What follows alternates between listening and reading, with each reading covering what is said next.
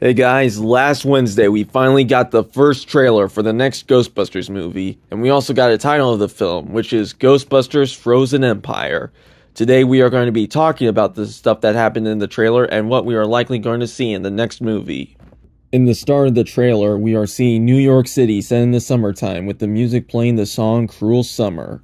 At some point, you hear the music slowly stop, letting us know that the ghosts are coming after you see some people looking at that strange cloud thing heading towards them, we start to see giant sharp icicles suddenly popping up out of the ground and people are trying to get away from them. You also see the Ferris wheel start to freeze with people still inside it. In this wide angle shot, you can see that this ghost cloud is much bigger and dangerous than the ones we've seen in previous films because more sharp icicles violently pop up from under the ground and roads and vehicles getting frozen around the Ghostbusters firehouse. Then after that, we start to see Ecto-1 all fixed up after the events of Ghostbusters Afterlife, letting us know that the Ghostbusters are going to try and stop this new threat. After that, we start getting some new shots of New York City, along with characters from Afterlife, Phoebe, Trevor, Lucky, and a new character that hasn't appeared in Afterlife. During those three shots, we also start to hear Patton Oswalt's voice in the trailer, and we hear him say, For the first time in New York history,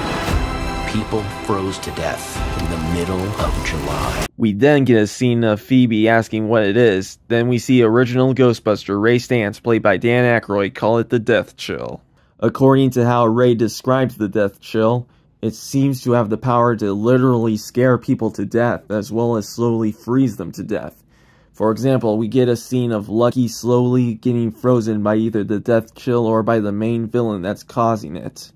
Which, by the way, according to these two shots, we could be getting a brand new villain in this film. I'm honestly glad about this because we would be getting something completely new rather than bringing back an old villain like Gozer the Gozerian or Vigo the Carpathian. Because we already saw Gozer come back in Ghostbusters Afterlife, which was the third film in the original series. So it would be much wiser not to bring Vigo from Ghostbusters 2 back yet in this film. That is the sequel to Afterlife and the fourth film in the original franchise from what we've seen in the trailer, this new villain seems to be a very big, chilling, and dangerous threat for the Ghostbusters to handle.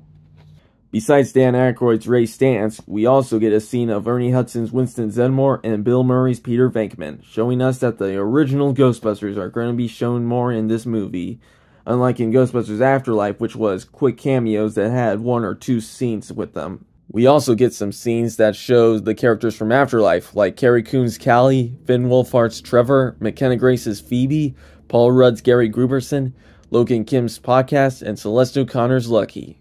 We also get a first look at some of the film's new characters played by Kumail Nanjiani, Patton Oswalt, and James Acaster. At the end of the trailer, after we get a quick look at the possible new villain, we see Callie, Trevor, Phoebe, and Gary wearing new Ghostbuster suits which seem to be red coats with a no-go symbol on their left side. Kind of like the normal Ghostbuster jumpsuit having the no-ghost logo on their right side. Let me know in the comments how excited you are for Ghostbusters Frozen Empire coming March 29th next year. But anyway, don't forget to like and subscribe if you enjoyed this video. And if you want me to do more trailer breakdowns like this, then let me know in the comments. But until then, I'll see you guys in the next video.